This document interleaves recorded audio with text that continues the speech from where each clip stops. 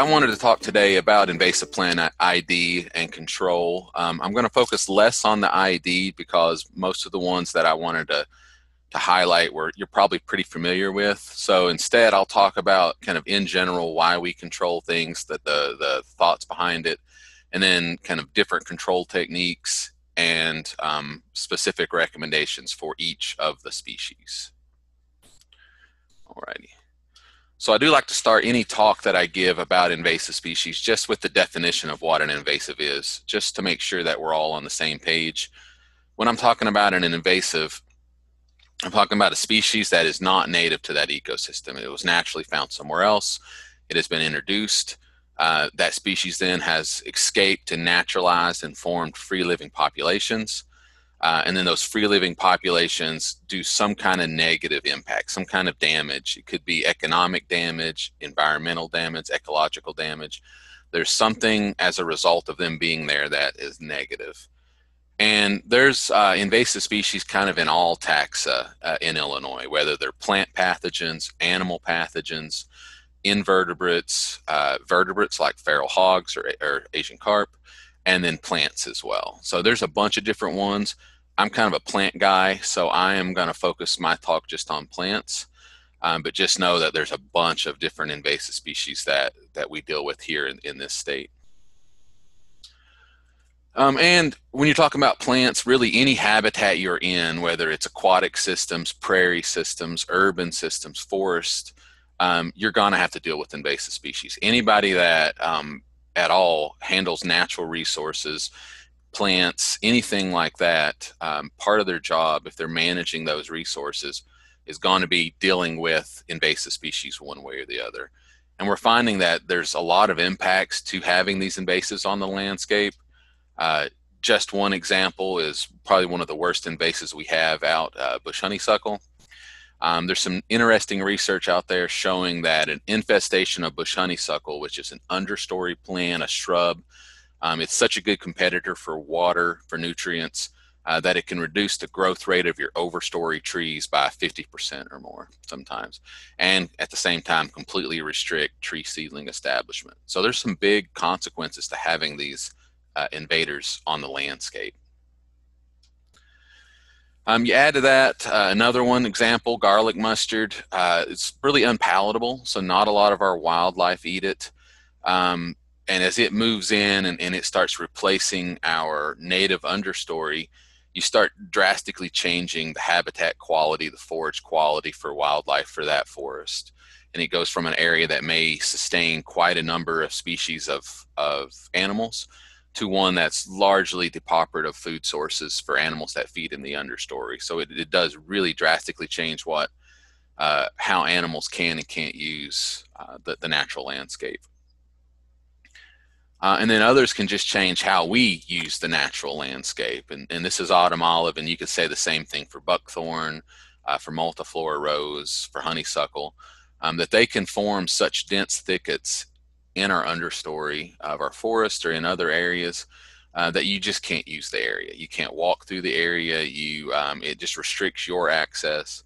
And so, if this is a, a natural land, a public land, a park, um, your um, users, your your recreationists are not going to get the opportunity to go through there. They're just not going to want to. If it's your own homeland, if it's your own land, um, you're going to have much less options of what you can and can't do in this land with some of these big, thick infestations. And unfortunately, uh, this uh, invasive species issue is something kind of of our own doing. Uh, we have a, a varied history uh, when it comes to using invasive species, kind of how we've dealt with invasives. So I like to throw these pictures uh, up in my talks. And these are um, some pictures of old leaflets um, touting the use of these invasive species, highlighting what we should and shouldn't do with them. Um, these are from the 50s and 60s. I like them because on the left there, it's talking about Russian olive and how the good wildlife uses for it.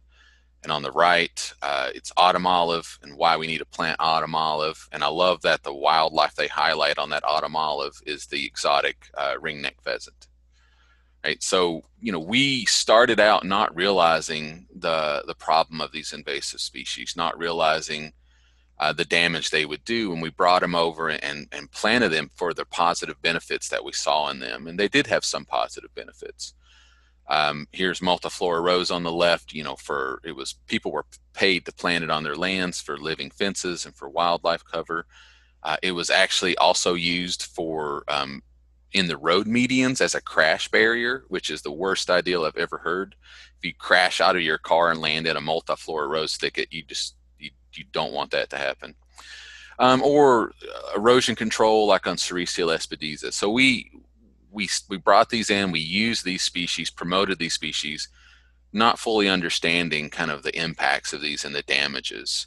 So I don't want to blame people in the past because it, it was all done with the best of intentions and, and not the understanding needed.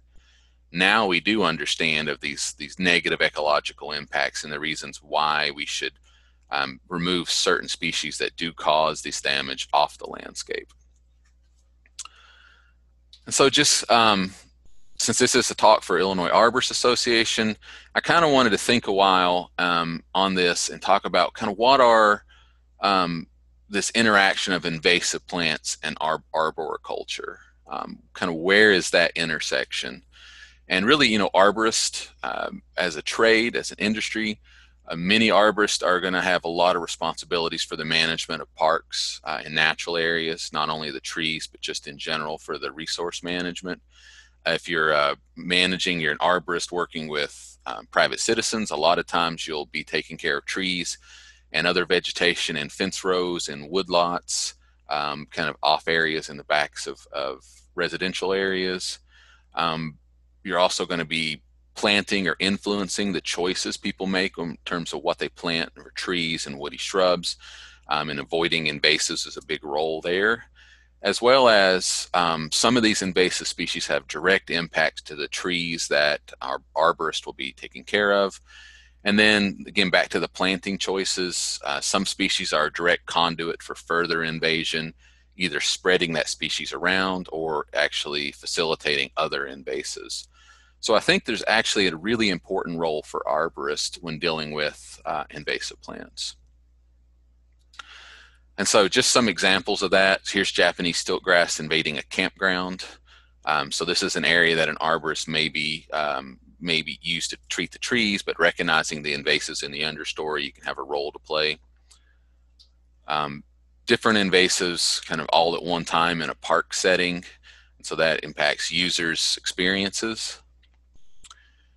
And then again, some of these can just overwhelm trees and be direct threats to the health of our trees.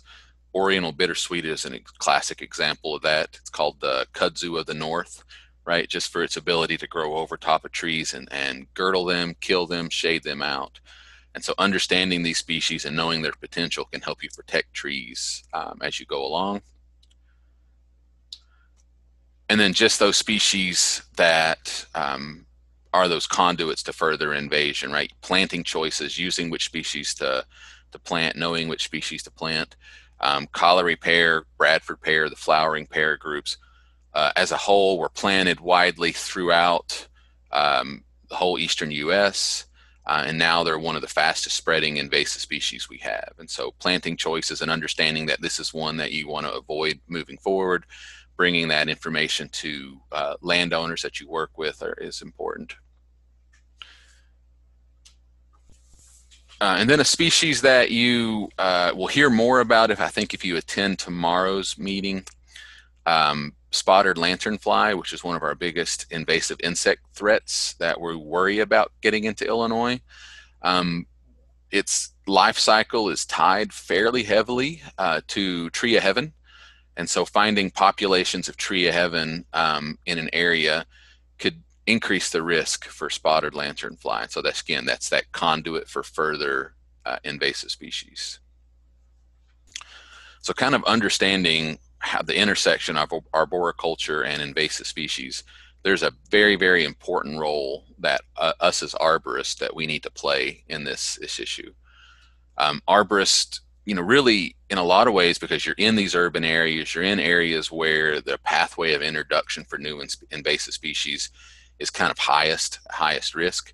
I, I see um, arborists really serving as some of those first detectors finding new invasive species when they first show up, whether it's uh, invasive insects like Asian longhorn beetle or spotted lanternfly, or just new bad acting ornamentals. So plants that are used out on the landscape that you're seeing spread, you're seeing them um, kind of escape from plantings and in, going into more natural areas and kind of finding those and being those eyes to report those and then influencing uh, planting choices uh, is a really important role for arborists. And then uh, educating the public. You're often the tree experts that most landowners talk to um, from day to day. So educating the public, educating clients of the importance of invasive species management, the importance of planting choices, that is a huge role that arborists play. And then just doing work to protect or enhance biodiversity in this urban residential landscape that so many of us work in. Uh, and that could be through management and control of invasive species, promotion of native diversity, all of that. So these are all roles um, that I think we all play when dealing with invasive species um, in our role as arborist. Now, not all invasives are equal, and I think there's suites of invasives that are more likely to be a problem in this, uh, what I call the wildland urban interface. And that's a common term. People call it WUI for short, if you haven't heard that before. Uh, a WUI, a wildland urban interface, is just what it says. So it's it's the intersection of natural unmanaged or natural unmanicured landscapes with more intentional manicured landscapes or, or peopled landscapes. And so this intersection of both of these um, is an area where natural resource management is a little more complicated, a little more difficult, and you have some unique uh, unique uh, challenges there. And so invasive species that that do well in this WUI, this er, this interface, typically are ones that are good dispersers, so they can move around, they can spread from intentional plantings. Uh, they tend to be ones that are promoted by disturbance. And so there's a lot of um, edge habitat and these, these interfaces, these WUI interfaces. You're going to have more highlight environment, more edges, more bare soil, a lot of times high nutrient availability. And so species that do really well in that kind of disturbed habitat are going to be ones that uh, you expect to find at, to a higher degree in the, the wildland urban interface and um, for obvious reasons, species that really have a history of being used ornamentally are ones that are going to show up a lot, oftentimes in this WUI. So things like that Callery pear. So later on in the talk, um, I am going to highlight seven different species that uh, I think really fit into this uh, wildland urban interface uh, uh highlight that I want to highlight. And so they're garlic mustard, starting from the top left and moving right on the top row. We have garlic mustard, uh, our bush honeysuckle species, multiflora rose, our autumn olive, and in the bottom row it's oriental bittersweet, tree of heaven, and Callery pear. There's certainly many other species that fall into this group, and we could have a whole talk just going one species after another. I just didn't think that would be the most interesting of talks.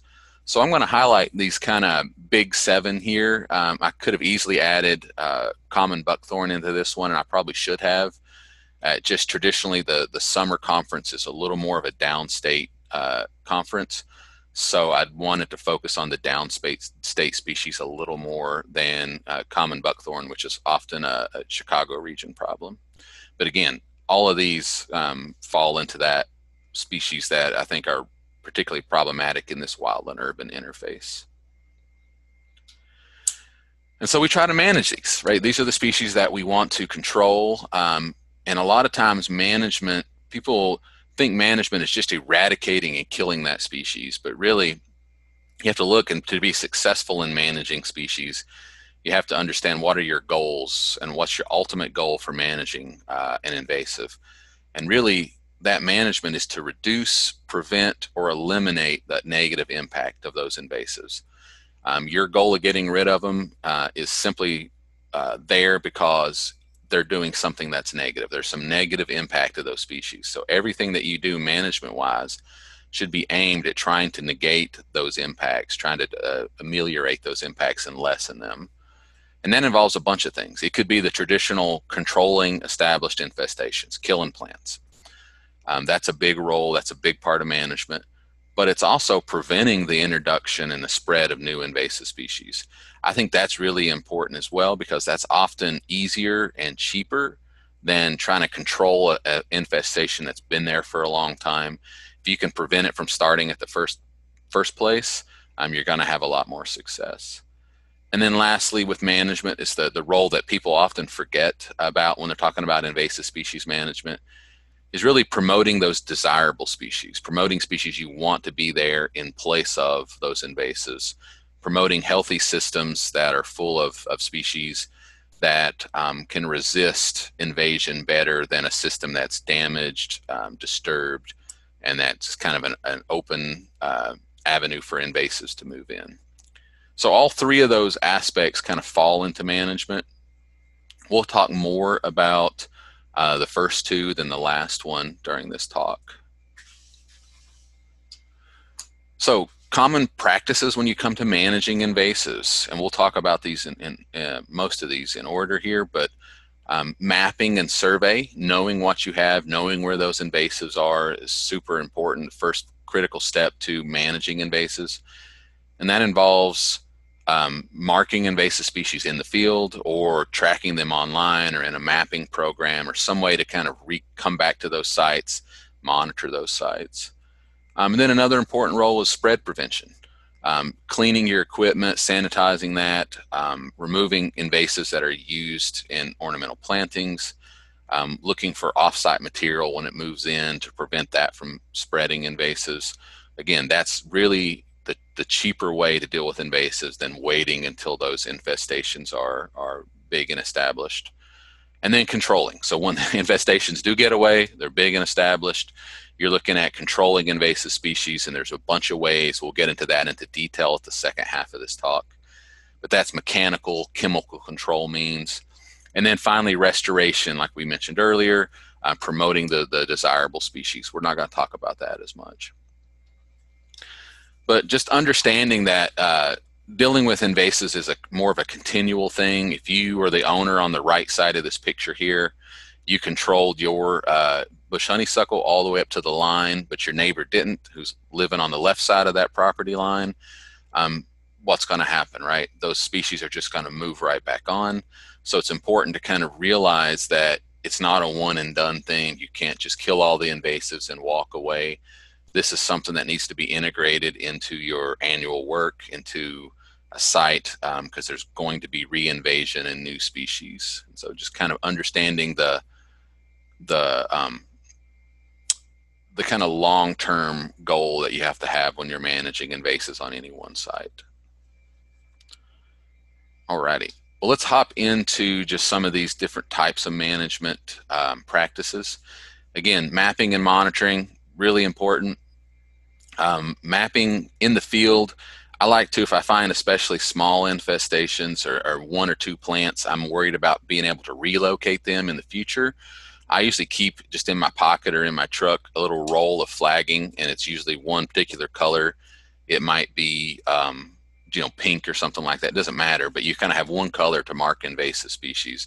And if I find a small infestation and I don't have the equipment to control it right there, I'll tie a piece of flagging up there or put a pin flag in or put some paint. Usually for me it's flagging. But anything to help you relocate that that those plants in the future when you come back and you're ready to control those species.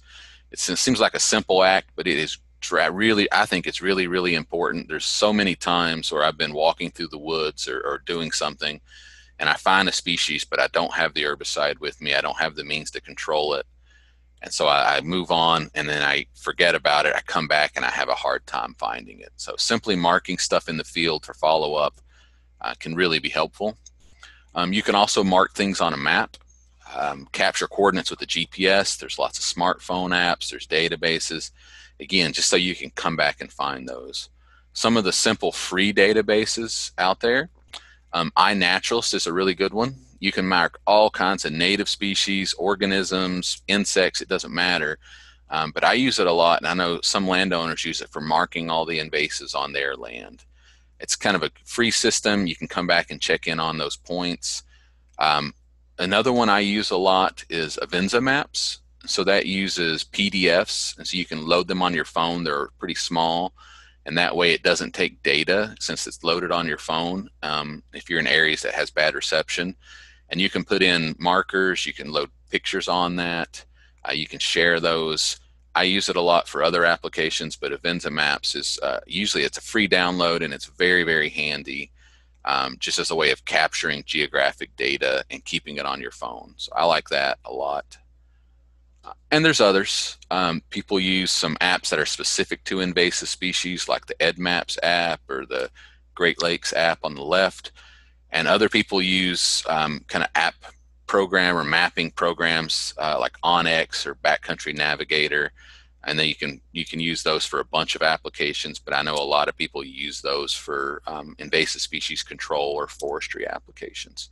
A bunch of different things but it is handy to have a map to kind of record what you're doing and where you're doing it.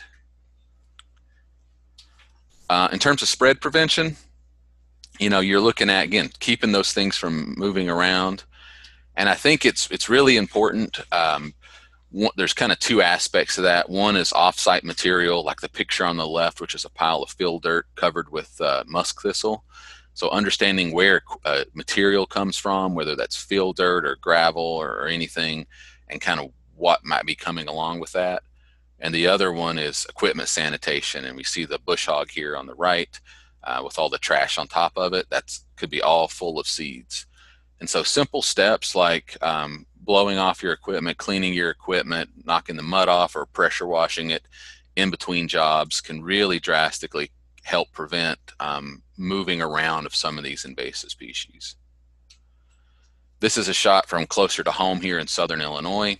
A pile of gravel. Uh, I'm standing on a gravel road when I took this picture. That pile of gravel there is covered on the edge with that Japanese stiltgrass, one of our worst invasives. Uh, it's that stiltgrass is spread by seed. So what's going to happen when they come and get that gravel and spread it on the road? They're just going to be spreading stiltgrass up and down the road, right? So some uh, best management practices when it comes to kind of preventing the spread of these would be cleaning equipment after working in areas that have known invasives. Uh, if you're doing mowing or anything like that, don't mow those areas if the invasives have ripe seed and are actively dropping their seeds um, all you're going to do is pick up those seeds in your mower. Try to do that before uh, seeds are ripe, before the plants flower. And then if you're using offsite material, know where it comes from, look for weedy problems in those, and then follow up on those areas where you've used that offsite material for a couple years to look at if new and new species come in or are, are, invading. Um, if you are somebody that, if you're an arborist or a natural land manager that deals with public areas and public trailheads and things like that, I'd highly recommend considering, um, you know, installing some of these boot brush stations. The idea behind those, it gives a little signage that educates the public, and then the public can come in and clean their shoes off, knock the seeds off, um, to kind of prevent spreading species around. I think it really it's beneficial of knocking seeds off and preventing them, but it's probably more beneficial as an educational tool. They're not very expensive, um, so it's definitely I think a high highly recommend kind of incorporating those into your education if you work on public lands with trailheads. Uh, it's also a good good excuse to put little pictures of my kids up on these talks. So they all vary in age, but always it's hard not to take a picture of a little tiny kid brushing their boots off. So that's why I put them all in here. But even us as practitioners, um, recreationists, you know, we get seeds on our animals, seeds stuck to our clothes. So just understanding that you could be a, a vector to spread these species around, that's an important thing to consider. Um, if I'm working in an area with a lot of invasives, I'll make sure that my boots, uh, my shoes, my pants are cleaned off before I get out of there. Pick any of the burrs off that are seeds, just because I don't want to spread these things around as well. Alrighty, I'll have a few things here and then we'll jump into our first knowledge check-in. Let's get into some generic control recommendations first and just kind of talk about those. Uh, one thing I will say, just as a great resource, is our, our book that we published uh, almost two years ago now, and we've had a couple reprintings. is our management of invasive plants and pests in Illinois. And this was a document that was a combination of the Morton Arboretum and the University of Illinois Extension Forestry Program. It gives control information on 40 some different uh, invasive species in Illinois, as well as good information on some of our invasive pests. Uh, it includes a phenology calendar, which kind of gets at the timing of these invasive species. So you'll know, you know, when they're vulnerable, when you when they're visible, when you can control them. Really good information, a free PDF download on our Extension Forestry Facebook uh, website. So highly recommend um, checking that out. Another really good resource, um, if you're interested, is the Midwest Invasive Plant Network's control database you can get to that from mipn.org. And that one, you just go in there and search for the species that you're interested in, and it'll bring up a ton of information about uh, even case studies about that species, how to control it, what to use. So, good, really good resources to kind of get that good information. Um, in general, when you're in, uh, controlling a established uh, population of an invasive plant, Again, it's not a one and done thing. You need to expect at least three to five years of work to eradicate an infestation. And that's assuming that you can control the entire infestation at one time. Um, for common stuff, you can expect reinfestation kind of coming in from nearby. And then again, just highlighting that equipment sanitation, cleaning is a must because you don't want to spread these around different species are going to have different uh, longevities in the soil. And so some species, typically are fleshy fruited ones, um, might have shorter lifespans. You know, they live five years or less in the soil. Um, some of our other species, like the Lespedeza or multiflora rose, you're looking at decades of time in the soil. So, kind of understanding that, understanding how long the infestation was on the landscape, can kind of tell you uh, kind of how long you need to work in there and control them. Uh, don't let this overwhelm you, though. I mean, most of the time for most of these, um, the vast majority, 80 plus percent or more of the seeds are going to germinate in year one after they're produced or year two. Uh, there's, but there's always a chance that some of those seeds can live around, live a long time in the soil. So you just need to plan to come back and monitor and check those sites um, for a period, even after the plants are, are all removed.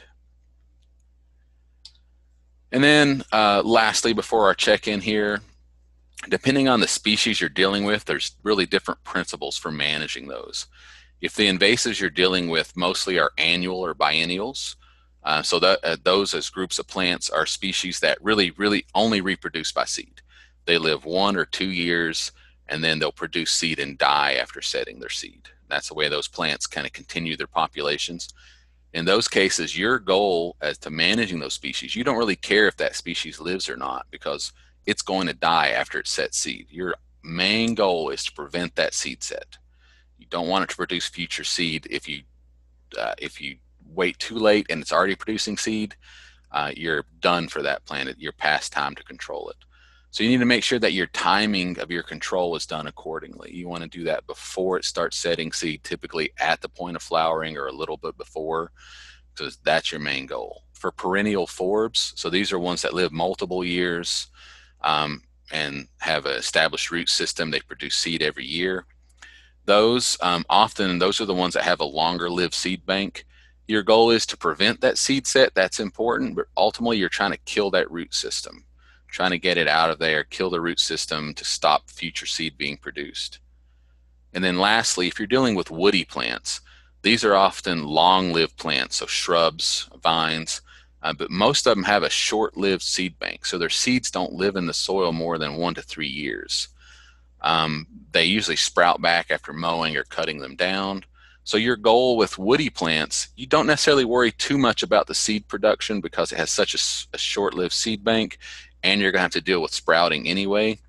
Your main goal for those is timing your control at a point in time when the root system is most vulnerable. So you're going to kill that root system. Sometimes that's in the fall after those plants have already produced seed. Um, if that's the most vulnerable time to control them, that's when you want to do that.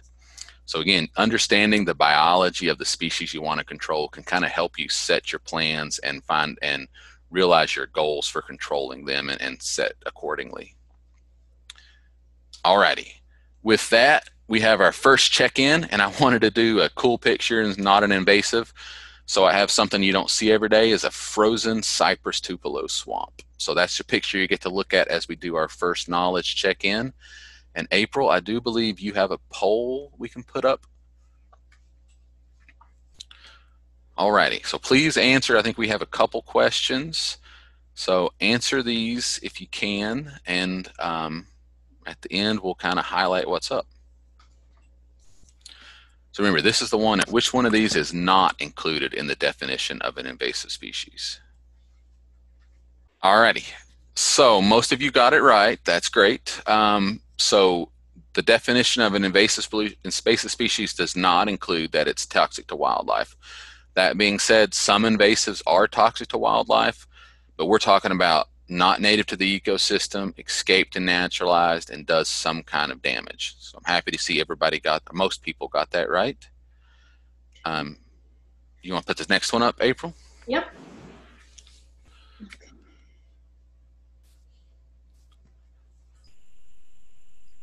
Alrighty, next one. Uh, it's about the WUI, the wildland urban interface. What is a characteristic uh, that of invasive species? in the wildland urban interface.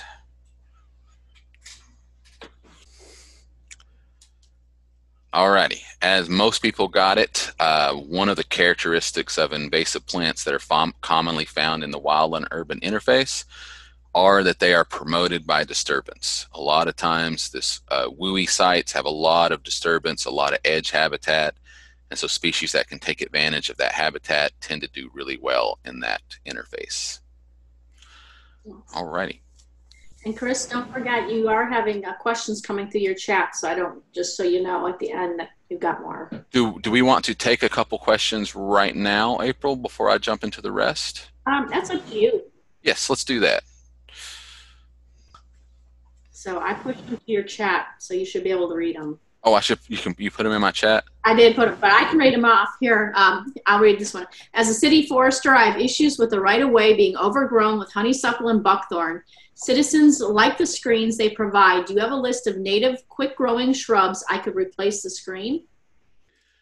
Uh, that's a great question. There are quite a few of those. I don't have it on hand right now, but um, I can certainly share my email and provide that with you. But there are um, a bunch of quick growing shrubs some of the ones that come to mind, depending on the site that you are, um, elderberries, uh, roughleaf dogwood, some of the viburnums, all of those can be um, kind of all you know alternatives to the honeysuckles and the buckthorns that people like for shade. Particularly some of those viburnums, the native viburnums, do pretty well in that kind of habitat. Great, and then we have another question: uh, How long do buckthorn seeds live? Um, that's a good question. I think buckthorn falls into that group, and I'd have to look to be sure. Um, into that one to three years. Um, their seeds aren't very long lived. They're a fleshy seeded um, uh, species. So I think by and large they have fairly short um, seed banks. Okay. And that's it for right now. All right, great. Well, I'll move along then. I'll move off from the picture of the cool frozen swamp. Um, and then we'll just get into the kind of different techniques of control techniques. Um, mechanical control is one, and so you know that involves everything from hand pulling, mowing, weed whipping, torching. Uh, this works well for some plants, for not others. So for annuals, biennials, shallow-rooted perennials, mechanical control works pretty well. Um, just keep in mind that for those, especially if uh, seeds are present, you'd want to bag and remove those plants. Um, that's a classic thing you do with uh, garlic mustard, right? Garlic mustard pool days. And so that's something you can do, and it can be useful, um, particularly if you're if you're managing with volunteers and you don't want to um, use herbicides in those cases. For woody plants, you can get some assistance like these weed wrenches. Um, there's several different kinds that are out there that give you a little leverage and help you pull um, plants out of the ground that may be otherwise too hard to do just by your own um, by your own hands. Again, really great tools if you're look if you're managing sites that, that you have volunteers at um, because they're uh, herbicide free. They're pretty hard to can uh, hurt yourself too much with them, and they are big and heavy. So my my saying about those are they're a great tool for somebody else to use. So I, I do like them for volunteer days. And so there's definitely room for mechanical control out there. Um, I'm going to spend more time talking about chemical control because I think there's a little more to say about it. Um, anytime you're using herbicides, make sure to always use your appropriate protective gear. For most of the herbicides, that's eye protection, doesn't have to be goggles. Um, long sleeves, long pants, closed toed shoes, and then chemical proof gloves, so nitrile gloves or something like that. And it's also very important that you read and follow the label information. An herbicide label is the law. That's a legal document that to use that herbicide, you're required to follow. And so that label is going to give you all the information about that, that herbicide in terms of what it is, where you can use it, how to use it, how much to use, what to do afterwards in terms of restricting access to sites. Um, very, very detailed information um, and again, you should really read through that label entirely before you use an herbicide, just so you understand how to use it and how to be successful and effective and safe in using it. Uh, in terms of in Illinois, and if you are um, using herbicides, there are some requirements. If you're applying herbicides as part of your job, uh, you're going to require either an applicator license or an operator license in Illinois. And these are three year licenses now. Uh, so you test and then you get a three year license and then you have to retest it and get a new license. An operator, um, they work under the supervision of an applicator.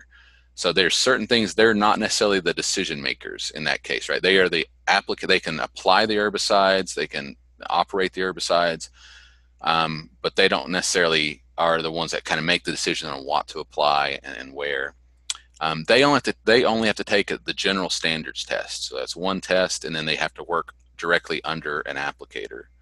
Uh, on the other uh, side of things is the applicator. So they are the decision maker. So they oversee the treatments. They make decision on what to apply, and they have to take additional tests in specific categories. So if you're working in um, rights of way, then you there's a test for rights of way. If you're working in a forest, uh, there's a test for forest if you're working in aquatic systems, if you're working with mosquitoes. There's a bunch of different categories. And so, as an applicator, you need to be licensed in each of those categories that you're going to apply pesticides or herbicides to.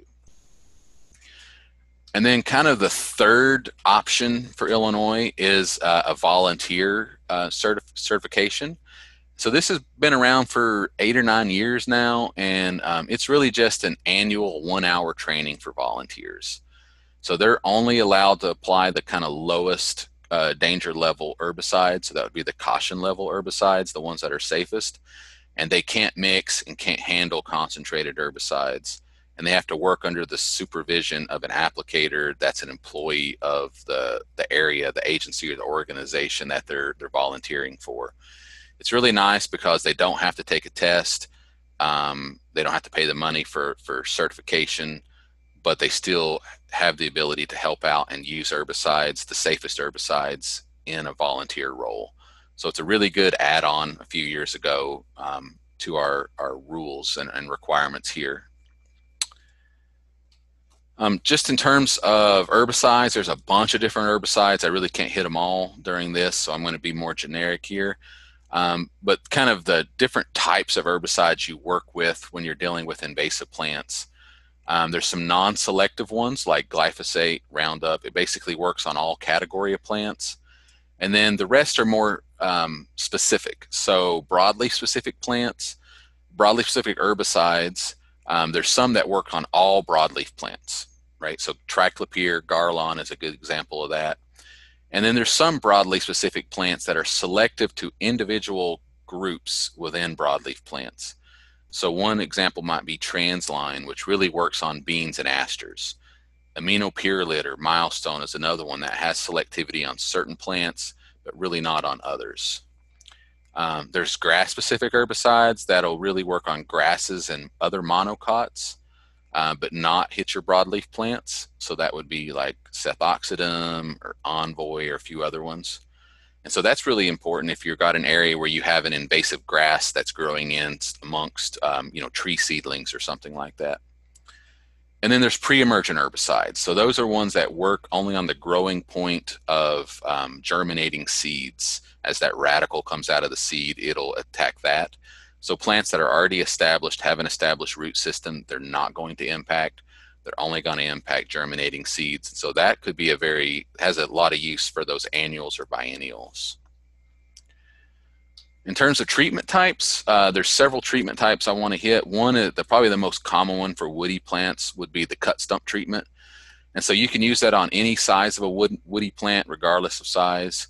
Uh, and it's basically cutting down the woody plant, treating that cut surface with a more concentrated systemic herbicide to prevent sprouting.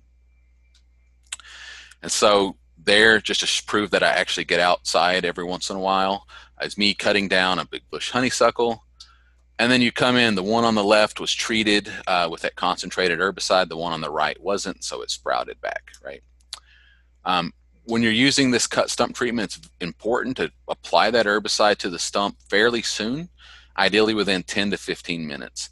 The longer you wait, that plant is reacting to that um, that damage from the cutting it down, and it's actually starting to compartmentalize that damage and shut those cells down uh, at the cut surface fairly quickly. And once it does that, um, it's going to reduce the amount of herbicide that gets translocated down into the roots. Your goal of killing that or cutting that plant and treating it is to kill those roots. So you want that herbicide into the root system. So the quicker you do that before that plant compartmentalizes its damage, the better that herbicide is going to get down into that root system. Um, if you treat the for small stems less than two inches, you just want to go ahead and treat that entire uh, surface cut surface. I'm usually a little liberal on it where I like the herbicide to run off the edge just a little bit. I don't skimp when it comes to this.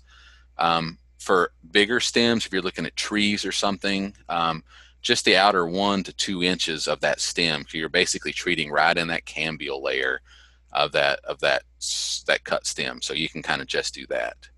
I like applying an herbicide dye because it really helps in tracking the treatments and reducing kind of missed stumps. Um, this is most effective mid to late fall. Um, even in the summer, it's pretty effective. Basically, you don't want to treat in the spring using this method. It's less effective as those plants are uh, starting to leaf out. You kind of wait till those leaves are fully erupted before you start using this method. You'll get better control. Um, kind of a cousin to cut stump is basal bark. So basal bark treatments, um, you're applying that concentrated herbicide, typically an oil-based herbicide, directly to the bark of that woody plant, and then you're letting that uh, that herbicide and that oil with that oil in that oil uh, penetrate through the bark and kind of get translocated that way. Um, it requires a little more herbicide than a cut stump treatment. You're putting more on there um, but it doesn't require cutting that plant down. So sometimes it's a little faster. You don't have the slash to deal with because everything's standing. Uh, you want to treat right at the ground level up to 12 to 16 inches high. Um, it works really well. Be careful if you have really dog hair, thick stands of an invasive. You can put so much herbicide on that you can get some non-target impacts and kill some other things. But I like it. It works pretty well. If you have heavy snow cover in the winter, or if you're in a low area that the stems are really covered in silt, both of those limit the effectiveness of it. And then just be prepared if you use basal bark in the dormant season in winter, those plants will often go ahead and leaf out in the spring and then kind of wilt and die back. So um, uh, it, may surprise you when that happens. So this is what it looks like. You know, again, ground level up um, using a backpack sprayer really works. Um, the one in the bottom left is a lot of stems, so you're putting a little much herbicide. I would probably switch on that one to do a, a, cut stump or something, just because a plant of that size, you're putting a lot of herbicide on, on the ground to kill one plant. And then the last of these treatments would be a foliar treatment. And this is what probably most people are familiar with. You're basically spraying the leaves of that plant uh, with the herbicide. And with it, you don't want to spray it so heavily that the, the herbicide is pooling up on the on those leaves and then dripping off. You want to spray it so you have kind of a fine covering of, of dots, of herbicide dots on that uh, those leaves. That's enough. Don't overdo it. Again, using an herbicide dye really helps. And this is a, a typical treatment for non-woody invasive plants, small woody or, or woody, small woody plants. Um, it's kind of a little bit counterintuitive, but you need a healthy plant to be able to kill it with this method. So it needs to be actively growing, healthy, and to be able to take up that herbicide. So that means full foliage, not a lot of leaf loss, not a lot of yellowing in the fall, not in a drought situation. All these conditions to get optimum uptake of herbicide. One example here would be this uh, picture of bush honeysuckle. Um, it is past it, so it's starting to yellow, it's starting to lose leaves. At this point, uh, foliar application would not be effective on this plant because it's already starting to shut down a little too far. I do like uh, uh, backpack sprayers for this. It works really well. Um, so you can do that. I think those are good tools for having it. In terms of follow-up, if you're spraying herbaceous plants, I would recommend following up at least once a season um, so you can kind of get anything you've missed. Perennial plants, if you're doing cut stump or something like that, you want to make sure to at least follow up that next growing season because you're going to miss some if you're somebody that mows things down, uses a bush hog or a forestry mul- mul- mulcher, um, you're going to have to deal with sprouts, plants coming back from those cut surfaces. And if you don't, if you didn't do a cut stump surface, if you just want to let the plants sprout and spray those, um, you have to be careful about treating too early.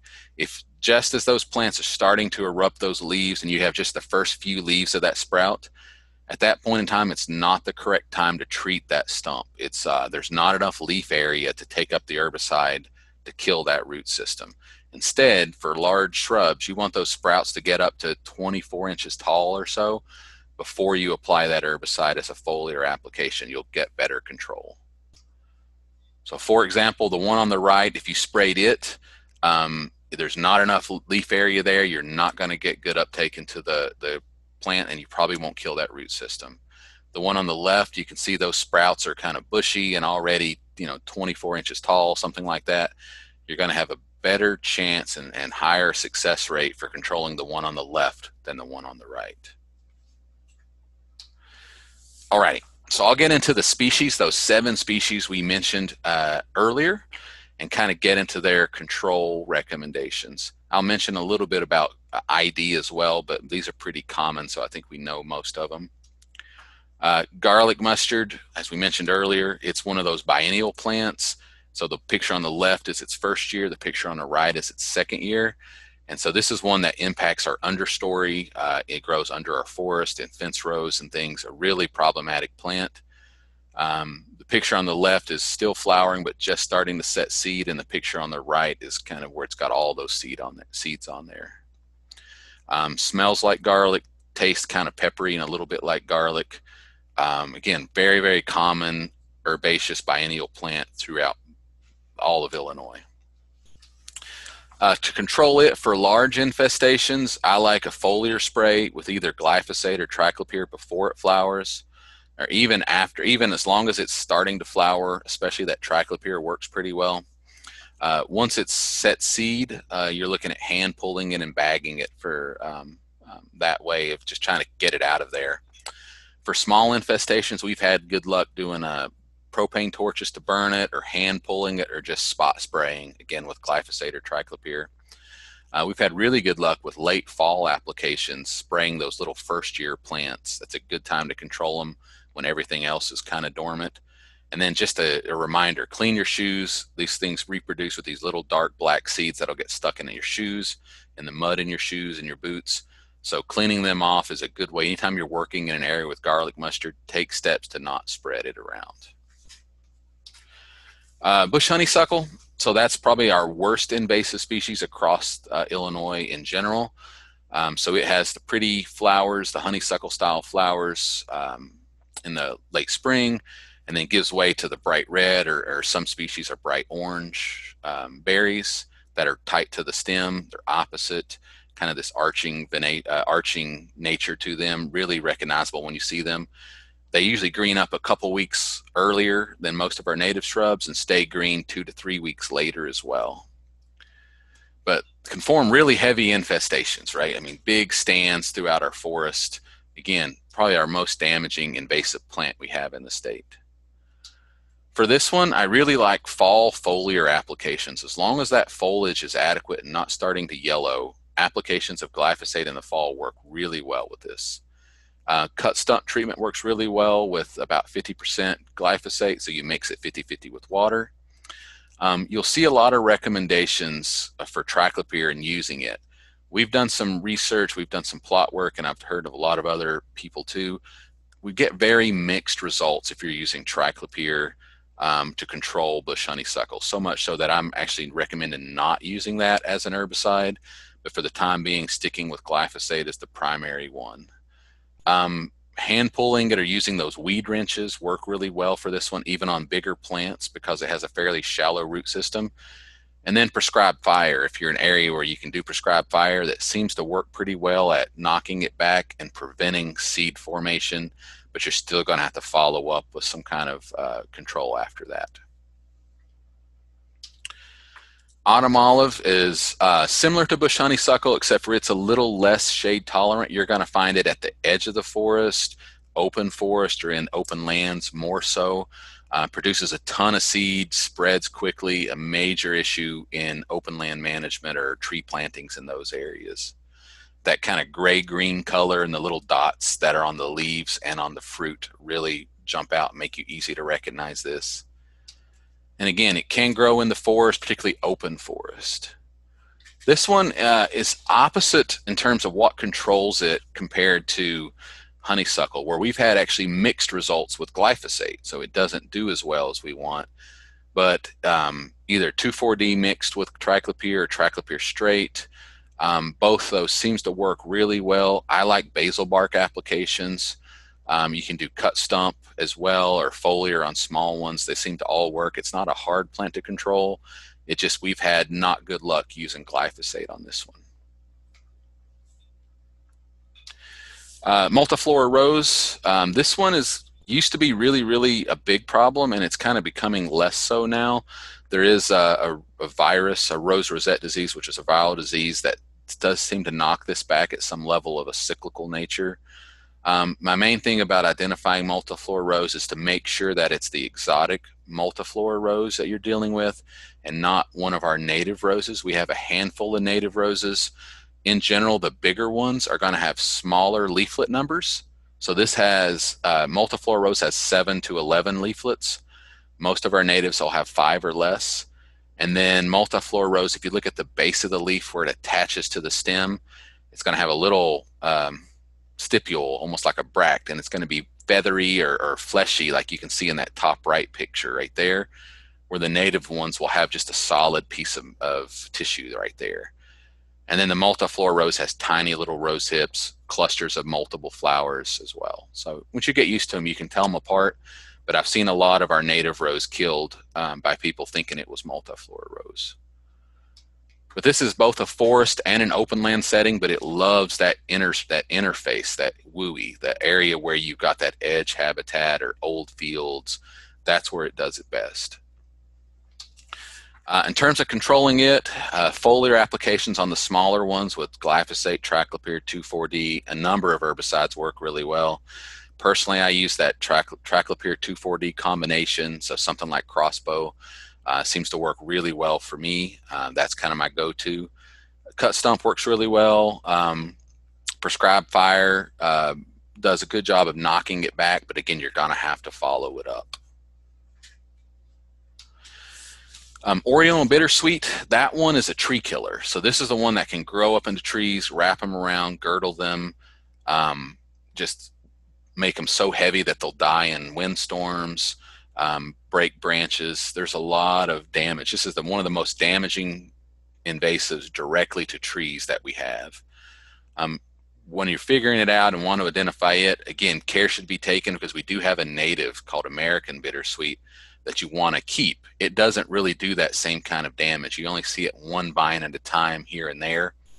If you want to identify those, the female plants, so the berry producing plants of oriental bittersweet, like you see in this picture, is going to have lots and lots of fruit that occur all up and down the vine. And then it's bright red fruit with a kind of yellowishy orange fruit covering, as you can see. Uh, the American bittersweet, their fruit are only at the end of the vines. So it's called terminal fruit, so only at the end. And their fruit covering, they're going to have fewer seeds or fewer fruit, and their fruit coverings are really, really dark, almost red orange. So once you get the once you kind of get the hang of that, they're pretty easy to tell apart. But in general, I've never seen American bittersweet form big infestations and really uh, just overwhelm trees like I have seen with um, Oriental bittersweet. Big woody vine, I've seen it get up to, um, I think the biggest one I've seen is five, almost six inches in diameter for a vine. They tend to climb way 60 feet up in a tree. The other name for them is round leaf bittersweet because their leaves are really, really perfectly round. Our native one is more egg shaped. In terms of controlling this one, it can be a really a big challenge. It is a clonal species, which means that its underground root network will send up multiple stems, sometimes far away from each other.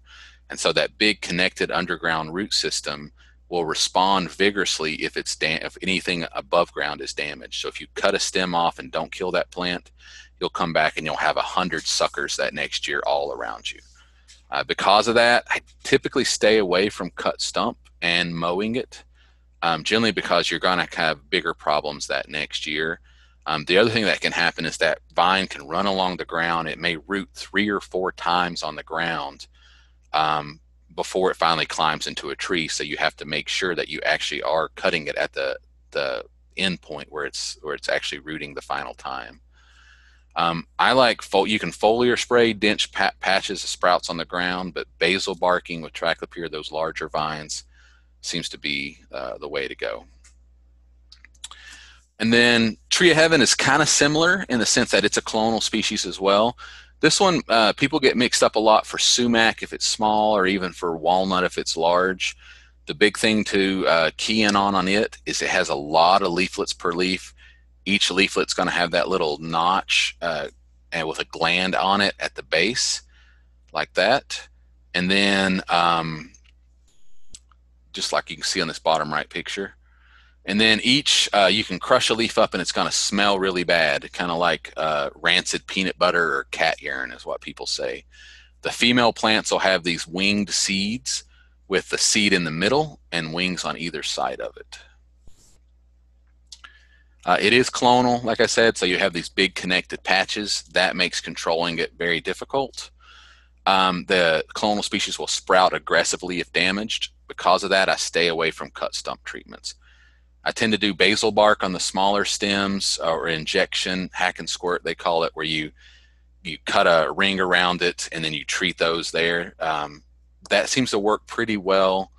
Um, and it doesn't stimulate it to root sucker as aggressively. So I do like the inject hack, hack and squirt or girdling it and treating the the girdles the the girdle better um, for the bigger vine for the bigger stems, and then basal bark for the smaller ones. It seems to work well.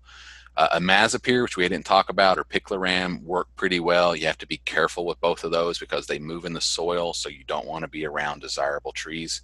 Or triclopyr works okay on that. Uh, and then the last one I want to talk about is Callery pear. We mentioned it already. Bradford pear, a lot of people know of it.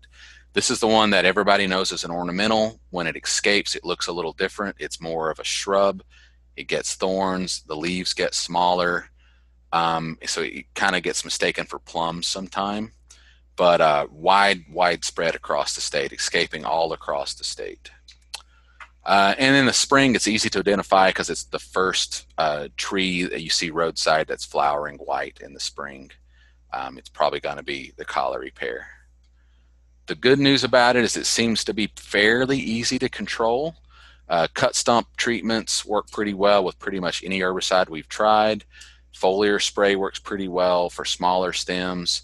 And then kind of after mowing it, you can let those, if you want to have little ones, let them sprout back and then spray them with a foliar spray. It all seems to work pretty well. And then since Callery pear is an ornamental plant and still used, I wanted to mention here before we do the next knowledge check-in and then wrap up at the end. I know I'm over time, but there's several other woody invasives that, that are commonly used in horticulture that are um, being invasive across the state. So just again, do your research, know what you're planting, and not and don't intentionally spread some of these known invaders. All right. So all I've got left is my summary, but this is time for our second check-in, and so I left you with a picture of a big grumpy toad. So April, if you can put in the questions. All right. First question, this should be easy. Which of these invasive plants is a biennial forb that has allelopathic properties? We didn't talk about allelopathy, but we did talk about which one is biennial.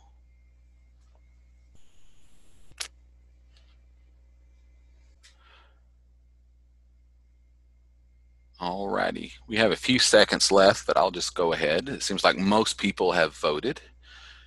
Um, so gar- most people are right. Garlic mustards are biennial. Bush, bush honeysuckle and multiflora rose are woody plants, and reed canary grass is a perennial grass. So very good. Uh, last one here. What type of treatment involves applying a concentrated uh, solution herbicide directly to the low stem of a woody plant.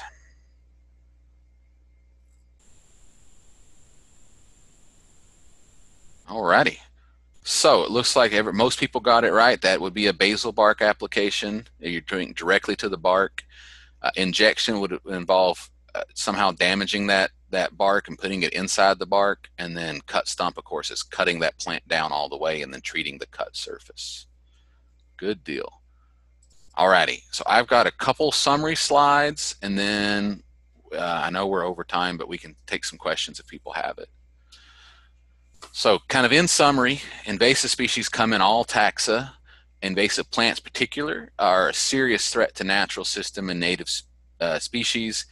We see loss of diversity, loss of productivity, reduction in wildlife, alterations of our ecosystems, and really invasive species are pervasive and across all regions of Illinois. Uh, arborists do have an important role to play in combating these invasive species, and that's through education, early detection, control, prevention, and uh, promoting and using non-invasive alternatives. That's a major important role for arborists.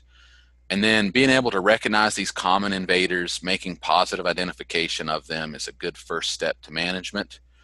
There's a lot of multiple control techniques out there that you can use, understanding which ones to use when, what is most uh, effective, and then especially understanding the legal requirements and the licenses you need to be able to do that in Illinois is important um, for you to be effective and safe and legal.